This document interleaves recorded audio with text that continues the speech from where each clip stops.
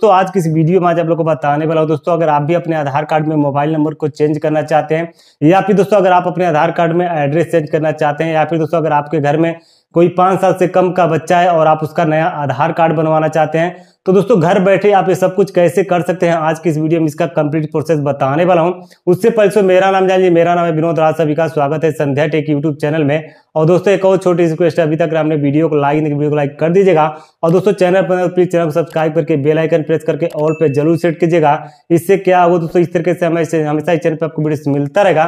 तो चलिए ले चलते हैं। मैं आ चुका अपने लैपटॉप की स्क्रीन पे और यहाँ पे दोस्तों मैंने इंडिया पोस्ट की वेबसाइट को ओपन किया है। दोस्तों इसका लिंक मैंने वीडियो डिस्क्रिप्शन में दे दिया है। जैसे दोस्तों आप इस पर क्लिक करेंगे तो दोस्तों आपके सामने कुछ इस तरह का पेज खुल के आ जाता है और यहाँ पे आपको अपना बेसिक डिटेल्स भरना पड़ता है। जैसे अगर आपके आधार कार्ड में जो भी नाम है, आपको यहाँ पे नाम फिलअप कर लेना है। इसके बाद यहाँ पे आपको जो भी आपके आधार कार्ड पे एड्रेस दिया गया है, उस एड्रेस को आपको यहाँ पे फिलअप कर लेना है। इसके बाद जो भी आपके आधार कार्ड में पिन कोड दिया गया है पिन कोड आपको यहाँ पे फिलअप कर लेना है। पिन कोड फिलअप करने के बाद अगर आपके पास ईमेल एड्रेस है तो ईमेल एड्रेस भी डाल सकते हैं और इसके बाद जो भी आपके पास मोबाइल नंबर है, वह मोबाइल नंबर आपको यहाँ पर डाल देना है। ऐसा नहीं कि दोस्तों जो रजिस्टर मोबाइल नंबर होगा, वही नहीं डालना है। कोई सा भी नंबर आप डाल सकते हैं।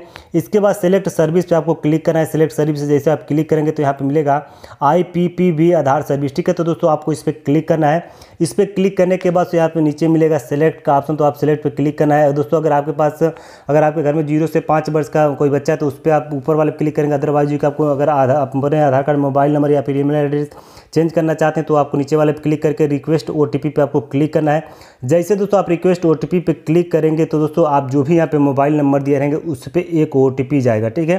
तो उस ओटीपी को यहाँ पे एंटर ओ में आपको, उस ओ टी को आपको यहाँ पे फिलअप कर देना, अगर ओटीपी नहीं आता है तो आपको दो मिनट तक वेट करना है। दो मिनट वेट करने के बाद उसको एक रिसेंट ओ कर देना, ठीक है?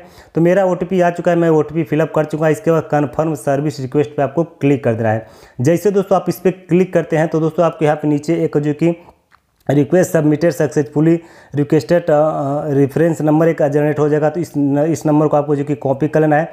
कॉपी करने के बाद से दोस्तों आपको इसको ट्रैक करने के लिए आप मिलेगा नीचे ऊपर मिलेगा click to track your request ठीक है? तो आपको इस पर क्लिक करने के बाद यहाँ से आपका जो भी ट्रैक नंबर है आपको ट्रैक नंबर डाल करके और यहाँ पर आपको फ़ेज़ पर आपको क्लिक कर देना जैसे दोस्तों आप फ़ेज़ पे क्लिक करेंगे तो दोस्तों आपको यहाँ पे देखने को मिलेगा, स्टेटस पेंडिंग दिया गया है, ठीक है? इसके बाद जो आपको यहाँ पे जो कि तीन से चार दिन में जो कि आपको एक कॉल आएगा और उस पर जो कि आपको फिर से आपको डिटेल्स पूछा जाएगा।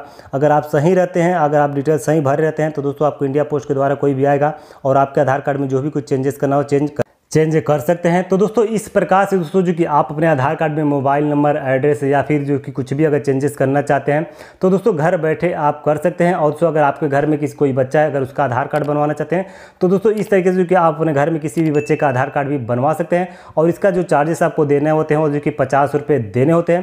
तो दोस्तों ये वीडियो आप लोगों को कैसा लगा कमेंट में ज़रूर बताइएगा। और इस वीडियो को लाइक और देखा मैंने कितना आसान तरीके से बताया कि कैसे दोस्तों आप अपने आधार कार्ड में मोबाइल नंबर को चेंज कर सकते हैं या फिर दोस्तों किसी बच्चे का आधार कार्ड बनवाना चाहते हो, कैसे बना सकते हैं? उम्मीद करता हूँ दोस्तों आप लोगों को ये वीडियो अच्छा लगा, वीडियो अच्छा लगा लाइक कीजिएगा।